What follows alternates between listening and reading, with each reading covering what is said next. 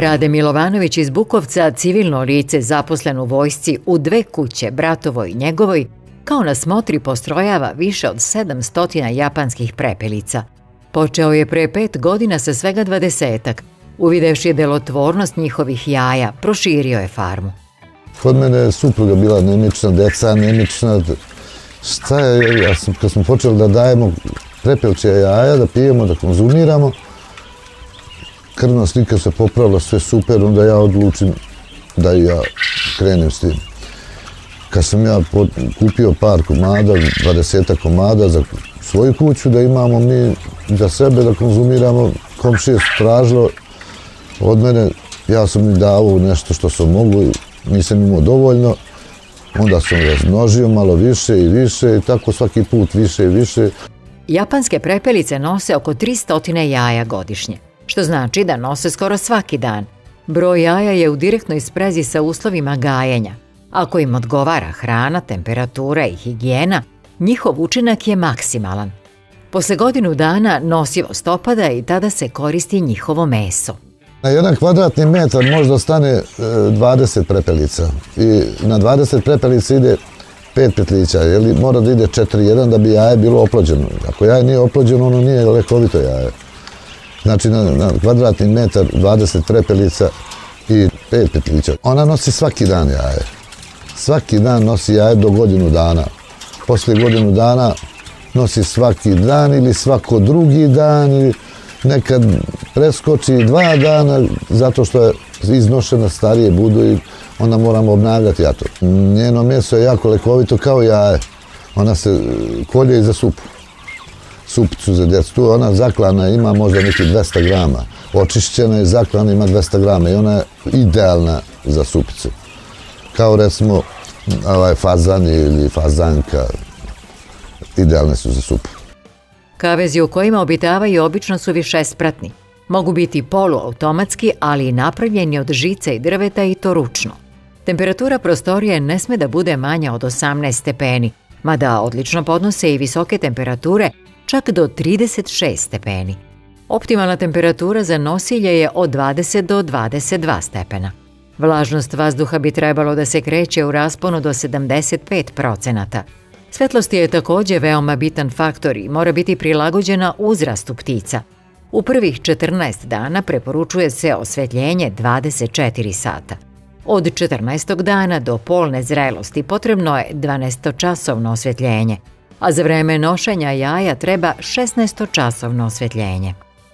Postoji inkubator, običan inkubator kao i za kokošija jaja, mogu da idu i prepelčija jaja unutra. Ovaj, stavimo inkubator, i neki inkubator ima manji i veći gdje staje 130 komada ili, ili 260. Ovaj, I one samo što ranije izlaze od pilića, kokoših. Kokoška, pile kokošije treba 21 dan da izađe, a njima treba 16 dana da izađu. 16. dan izađe. Ono, kad izađe iz jajeta, taj dan treba da prođe 45 dana da nosi jaje. Ona 45. dan nosi jaje od kad se izađe iz jajeta.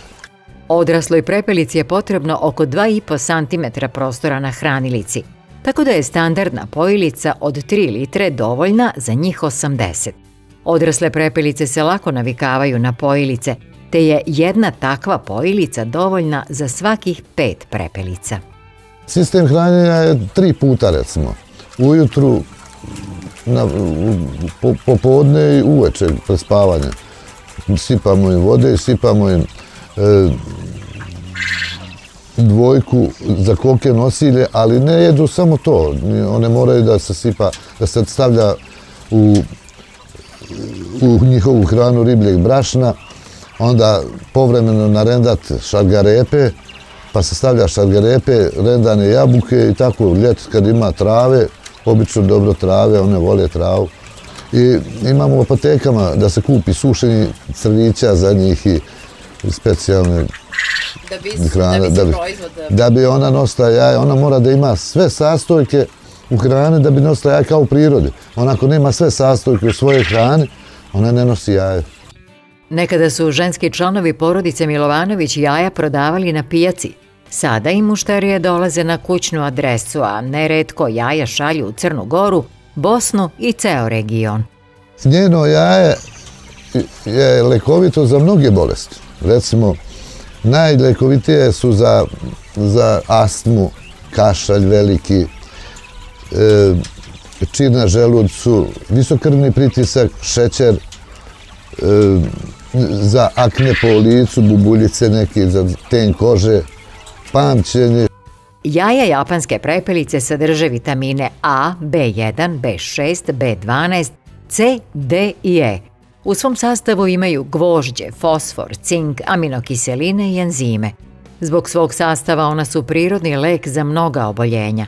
Deci, starijim osobama, sportistima i svim osobama koje su izložene fizičkom naporu preporučuje se preventivno konzumiranje jaja prepelice. Podsjetimo, u odnosu na kokošije jaje, jaje japanske prepelice ima šest puta više vitamina B1, osam puta više gvožđa, a pet puta više fosfora. Jedno jaje sadrži samo 15 kalorija, a u sadržaju jednog jajeta je oko 13% belančevina i 11% masti. Domaćin će svaki znati dobar savjet se isplati sa novog portala Vreba Savjeti sa Agroneba. Posjetite ovog trena i nestaće ta dilema. agrosaveti.rs Sajt koji nudi odgovore.